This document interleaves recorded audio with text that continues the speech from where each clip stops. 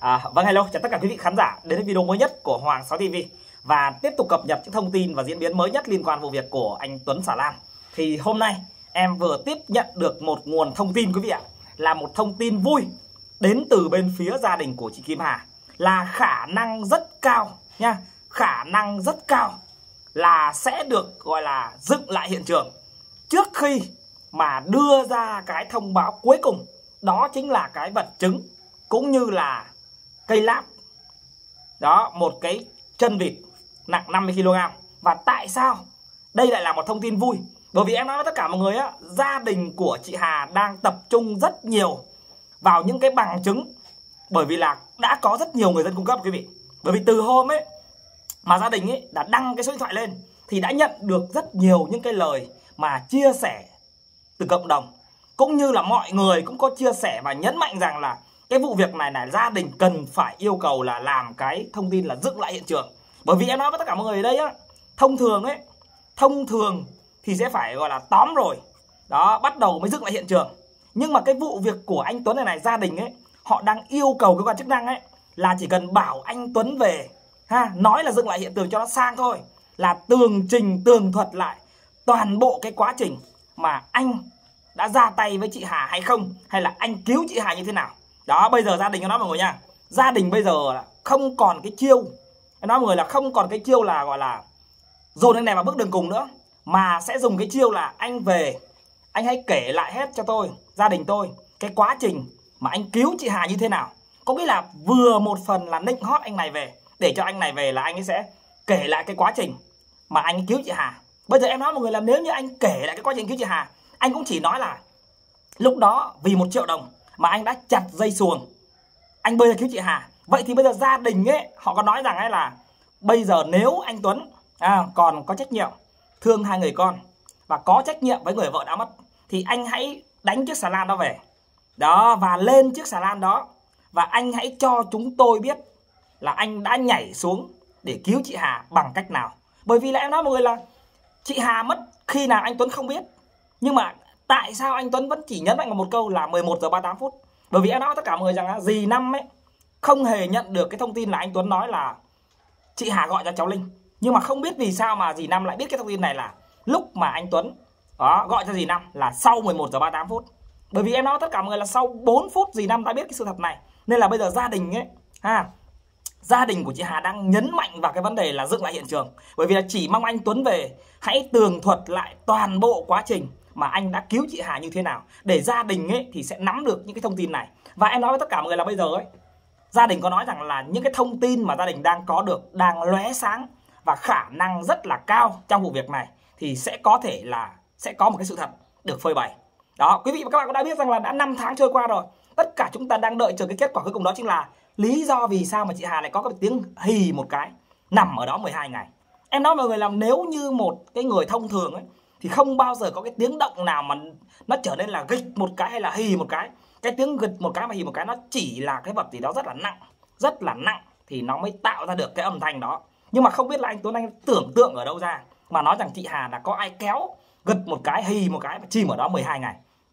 Anh nói với tất cả mọi người á, dù có tiếng gịch hay tiếng hì gì đó, thì chị Hà vẫn phải trôi đi, không bao giờ nằm ở đó 12 ngày. Nhưng mà không hiểu vì cái lý do gì đó mà bây giờ chúng ta vẫn chưa biết được cái lý do là tại sao chị Hà nằm ở đó 12 ngày mà không bị trôi đi. Mà tại sao trong khi mà chị Hà rơi xuống sông ấy, chỉ có đúng hai vợ chồng. Bây giờ em nói với tất cả mọi người bất cứ cái gì cũng có thể chối cãi đúng không? Kết sắt có thể là hai ba người có thể là 13 triệu nhưng mà không thể chặt dây xuồng. Em thì em vẫn nói với tất cả mọi người rằng ấy, em nhấn mạnh rằng đến bây giờ anh Tuấn vẫn chưa có tội.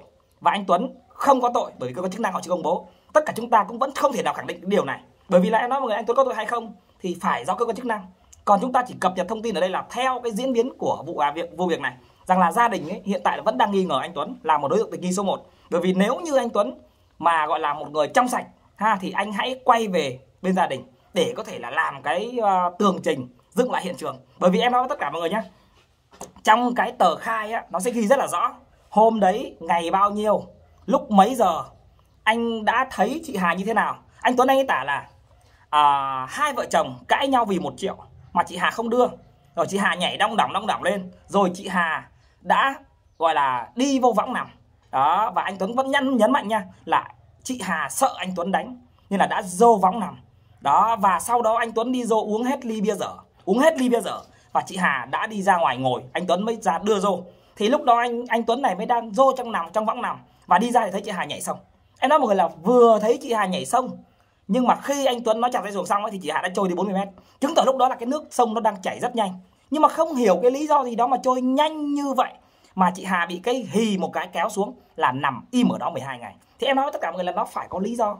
Chúng ta không thể nào mà nói mà không có lý do được. Bây giờ gia đình có nói với em ấy nó nói với tất cả chúng ta rằng ấy là cái vật chứng đó thì chắc chắn là phải được công bố là nó có phải là cái vật neo hay nó có phải là cái vật chứng hay nó là cái vật gì đó thì nó vẫn phải được công bố là cái vật đó nó không liên quan đến anh Tuấn, không liên quan đến chị Hà. Bởi vì em nói mọi người là tại sao gia đình họ lại phải cất công tìm vật chứng như vậy? Vì nó sẽ đủ yếu tố để có thể là dựa vào đó để có thể căn cứ rằng anh này có tội với chị Hà hay không. Bởi vì là em nói mọi người là tại sao gia đình của chị Hà lại nghi là anh Tuấn nó phải có cái điều gì đó với chị Hà? Bởi vì trước đây nó đã, đã có nhiều những cái trận xung đột vì tiền. Đó và chính anh Tuấn cũng có nói rằng là ờ, chị Hà là đi vào trong võng nằm nhưng mà sợ anh Tuấn đánh. Đó nên là chị Hà rất là sợ. Nhưng mà em đang nói với tất cả mọi người rằng ấy cái giai đoạn anh Tuấn đánh cái xà lan rời vị trí mà bốn chiếc xà lan neo đậu để đi ra một cái nơi mà giữa đằng sông để neo đậu mà em hỏi mọi người là đứng ở đấy là làm gì? Trong khi đó đang đứng với bốn chiếc xà lan khác mà anh lại phải rời cái vị trí đó để đi ra cái chỗ giữa dòng sông kia đậu cái mục đích là để làm gì? Cái mục đích của anh là để làm gì? Có phải là anh muốn lấy tiền, anh làm gì không? Mà anh Tuấn nói là hai vợ chồng không có xảy ra gì hết. Chỉ vì một triệu chị Hà nhà nó đỏng ông đỏng anh Tuấn mới đánh xe lan đi ra ngoài và chị Hà đưa tiền. Em nói mọi người là không có cái điều gì mà tự nhiên hết á. Không có thể nào mà hai vợ chồng cãi nhau vì một triệu. Chị Hà không đưa, rồi anh đánh xà lan ra ngoài là chị Hà đưa. Bây giờ em nói với tất cả mọi người nhá. Trong một cái trường hợp chúng ta đã biết rằng là dượng mời ở đâu ra mà cổ thấy sùng cho anh Tuấn? Dượng mời ở đâu ra mà phá cái sắt cho anh Tuấn? Rồi chúng ta hãy xem lại những cái lời nói của dì năm. Nó mâu thuẫn với lại lời nói của dì mười. Chúng ta hiện nay á chúng ta đang rất quan tâm rằng là cái kết quả của vụ việc này sẽ như thế nào. Bởi vì em đã nói với mọi người ở video buổi sáng rồi là cái vụ việc của chị Kim Hà này có thể sẽ được kết thúc rất là sớm. Bởi vì là bây giờ hết cái thời hạn điều tra rồi. Đúng không? Gia đình cũng đã gọi là gửi đơn lên tận uh, thành phố Cần Thơ rồi là mong rằng vụ việc này sẽ được điều tra và làm rõ. Và mong muốn có cái kết quả cuối cùng là liệu rằng cái vụ việc này nó sẽ như thế nào cái 12 ngày chìm ở đó là vì lý do gì? Và tại sao lại không có cái gì ở dưới mà lại mắc được thi thể ở đó? Em vẫn nói với tất cả mọi người rằng ấy, là rất nhiều người vẫn tin rằng là nó phải có cái gì đó neo. Chứ không lấy cái gì mà mắc.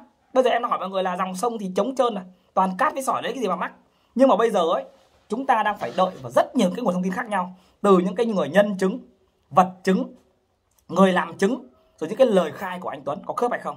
Bởi vì em nói mọi người là chị Hà đã chạy hàng anh em nói mọi người là biết bao nhiêu năm nay. Hai vợ chồng là đã gọi là xích bích 10 năm nay. Thì không thể nào mà em nói mọi người là 10 năm chịu đựng được. Mà bây giờ tài sản có, tiền bạc có, anh Tuấn, lại một cái việc là em nói mọi người là bỏ đi chơi 3 tháng trời về. Rồi là bắt đầu quay về, đi có hai chuyến hàng chị Hà mất. Quý vị thấy vô lý không? Bởi vì nếu như chị Hà mất ở đây không vì tiền thì vì cái gì? Chúng ta hiện tại thì em nói mọi người là chúng ta không thể nào khẳng định được là chị Hà có người sát hại. Chúng ta chỉ có thể nói một câu rằng là chúng ta tin là phải có cái gì đó neo dưới sông mà không biết ai neo. À, còn đối tượng tình nghi thì chắc chắn là vẫn anh Tuấn là số 1 rồi vì gia đình có nói rằng là à, trước đây hai vợ chồng có đánh cãi nhau đó và chị Hà đã báo công an và sau đó công an họ phải triệu tập anh Tuấn đến để giải hòa và để cam kết rằng là không được đánh chị Hà nữa. Và mẹ chị Hà cũng có nói rằng là ở đây là gia đình phải làm cái cam kết là nếu chuyến đi này có mệnh hệ gì thì anh Tuấn chịu trách nhiệm và sẽ phải chia lại cái phải chuyển tài sản đó cho các con. Đó nhưng mà em nói mọi người là anh Tuấn có đánh chị Hà không? Tại sao em nói mọi người nha trong cái vụ việc của chị Hà này, ngay từ ban đầu, đó, là mọi người thấy không? Anh Tuấn đâu có muốn cho ai quay, đâu có muốn cho ai tiếp cận. Đó, và cho những cái đội mà ngày xưa tiếp cận quay anh Tuấn, giống như anh giác trúng ấy không? Quay anh kho cám rồi đó. Rồi bây giờ đâu hết rồi quý vị? Bây giờ anh kho cám đang ở đâu? Bây giờ anh giác chúng đang ở đâu? Và những cái người ủng hộ anh Tuấn trước nay, bây giờ đang ở đâu? Chúng ta thấy rằng có một cái sự im lặng, nó gọi là từ lúc mà bên gia đình của chị Hà tiếp tục gửi đơn lên PC02 đó. Thì bên anh Tuấn đã im re luôn. Nó giống như kiểu là im, không nói gì nữa để cho vụ việc nó lắng xuống. Nhưng mà em vẫn nói với tất cả mọi người rồi, gia đình chị Hà không bao giờ dừng lại. Kim Linh cũng đã nói rồi, ha, là nếu như bây giờ anh Tuấn ấy mà có thể là nói hết ra sự thật hay là nhận lỗi gì đó thì cháu ờ, Kim Linh thì vẫn gọi là cha. Vẫn gọi là một người cha, vẫn coi anh Tuấn là cha. Còn nếu như không nói thì gia đình cũng vẫn sẽ đi đến cùng. Bởi vì em nói với tất cả mọi người là bây giờ, cái mà quan trọng nhất là chúng ta chưa biết được cái vật gì ở dưới sông mà có thể giữ chị Hà. Bây giờ em nói với tất cả mọi người là vụ việc này kết thúc. Nếu như mà gia đình sẽ tìm được cái vật neo. Đó bây giờ nếu như em nói mọi người là tìm thấy cái gì gì đó neo thì nó lại khác. Gia đình có nói rằng là ấy, bây giờ ấy, là già tìm đã tìm rồi lặn đã lặn rồi. Mà bây giờ nếu như cái vật đó nó ở sâu hơn cái mực gọi là cào cấu thì chúng ta không biết tìm làm sao được quý vị. Mà bây giờ nếu như dùng cái ờ, gầu cát cạp cát ấy mà để cạp ở vị trí đó nó rất là tốn kém. À, rất là tốn kém nên là gia đình bây giờ cũng đang dùng tất cả mọi cách từ những cái vấn đề là lấy thông tin từ người dân đúng không? Nhận thông tin từ người dân và tiếp nhận thông tin từ rất nhiều luồng khác nhau. Ví dụ như là cái người mà đi xà lan. Bây giờ em nói với tất cả mọi người nhá. Cái người mà đi xà lan cùng với anh Tuấn đã đậu trong xà lan trong bờ á, là đã có người cung cấp thông tin rồi. Nhưng mà em hỏi mọi người là ba cái người còn lại đấy là ai? Và tại sao họ lại có thể nói là họ có nghe được cái vụ việc của chị Hà và anh Tuấn hay không? Họ có nghe thấy tiếng cãi nhau hay không? Bởi vì em nói với tất cả mọi người là không thể nào một cái lý do nào đó mà 12 giờ trưa mà lại không ai nhìn thấy. Không ai nghe thấy, không ai nhìn thấy và không ai biết thì đó là vụ chuyện vô cùng hoang đường. Bởi vì là em em vẫn nhớ lời nói của dì Mười là lúc đó xui 12 giờ người ta đi ngủ hết rồi. Không có chiếc ghe, chiếc xuồng nào chạy qua. Nhưng mà thực tế ở dọc sông Bằng Cống thì 12 giờ trưa, xe ghe xuồng vẫn chạy qua rất nhiều. Nhưng mà không hiểu vì cái lý do gì đó mà vụ việc này nó lại chìm như vậy. Nên là em cũng cảm thấy thắc mắc. Nên là em cũng rất là mong tất cả quý vị khán giả cũng sẽ có những cái lời nhận định, những cái góp ý, bởi vì là em nói tất cả mọi người là nếu như muốn việc này không chìm xuồng thì tất cả mọi người phải, gọi là, tiếp tục cập nhật cái thông tin. Ví dụ những người người dân ở cầu bằng cống đó là có biết gì không? Có cái thông tin gì không? Và họ có chứng kiến được cái thông tin nào hay không? Bởi vì em nói với tất cả mọi người là gia đình bây giờ ấy, là cũng rất là mong muốn vụ việc nó sẽ kết thúc. Ví dụ như là anh Tuấn có tội thì phải xử lý. Anh Tuấn không có tội thì cũng phải đưa ra lý do là chị Hà nguyên nhân vì đâu mà ra đi. Và cái vật gì đó đã giữ chị Hà ở đó 12 ngày. Em thì em vẫn thắc mắc rằng là tại sao ấy? Là anh anh Vũ ấy, lại nói rằng là có cái vết bầm đen ở trên cổ. Đó có phải sự thật hay không? Và nếu là sự thật, thì gia đình cũng phải khai quật mộ. Bởi vì đấy là cứu cuối cùng. Nếu như mà trong vòng vài ngày nữa, đó mà cái thông tin chính thức là trả lời vật chứng, hay là cái vấn vấn đề là anh Tuấn sẽ quay về dựng lại hiện trường, thì đó sẽ là một thông tin vui. Vì em nói tất cả mọi người là bây giờ, nếu như anh Tuấn về, anh ấy tường trình lại toàn bộ quá trình giải cứu chị Hà, thì có lẽ vụ việc sẽ sáng tỏ. Bởi vì em nói với mọi người là bây giờ em chỉ thắc mắc mốt cái việc thôi con dao thì bằng hai ngón tay, ba ngón tay này, dài bằng này. Đây làm sao mà chặt dây xuống được? Nó không có gì kê, làm sao chặt được? Bắt buộc anh phải cắt. Mà cắt thì em hỏi mọi người là bốn sợi dây dù bao giờ cho đứt? Mà đứt thì nó cũng cắm đầu, cắm đuôi xuống dễ gì mà mà mà nó rơi xuống đó mà nhảy. Mà nếu như ví dụ em cho mọi người là cắt nó rơi xuống đi, thì một đầu rơi trước, một đầu rơi sau. Rồi anh Tuấn nhảy trong cái đó làm làm sao được? Nó, em nói mọi người là nó, cái cái thời gian cắt đó thì nó quá là lâu bởi vì là sau đó 4 phút là chị, là dì năm đã biết rồi mà. 4 phút là dì năm đã biết chị Hà mất rồi. Đó, mà trong khi đó anh Tuấn chưa gọi. Anh Tuấn đó là anh Tuấn bơi ra đó và còn tìm 10 phút 15 phút. Và sau đó mới gọi dì năm. Thì dì năm lại biết trước anh Tuấn. Đúng không? Nó có quá nhiều những cái điểm nghi vấn. Và quý vị khán giả có những cái lời nhận định góp ý gì thì comment bên dưới video này. Ha, để đưa ra cái nhận định quan điểm của mình để có thể là phân tích giúp Hoàng Sa TV đó, nên là quý vị khán giả đừng quên bấm like đăng ký kênh nha em sẽ liên tục cập nhật những cái thông tin mới nhất để cung cấp cho tất cả quý vị khán giả. À video này xin phép dừng ở đây.